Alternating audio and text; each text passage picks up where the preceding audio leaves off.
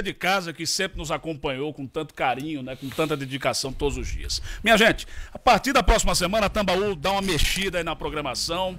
A gente não vai estar tá falando todo dia, pelo menos não nesse espaço do Tambaú Debate, mas eu quero agradecer demais pelo carinho de todos os dias, a atenção que você dispensou pra gente, para toda essa grande equipe que faz o Tambaú Debate. Não vai estar na grade diária, mas vamos estar em vários espaços espero contar com você também na Rádio Jovem Pan, em 102,5, a partir de segunda-feira, às 6 da manhã, no Jornal da Manhã. Tá bom? Muito obrigado. Bom final de semana e lembrando que você pode rever tudo que apresentamos aqui, as reportagens, os conteúdos especiais, através do portal T5. Para sugerir reportagem a qualquer momento, é ligando no 3015 3704. Uma boa tarde, bom final de semana. Tchau.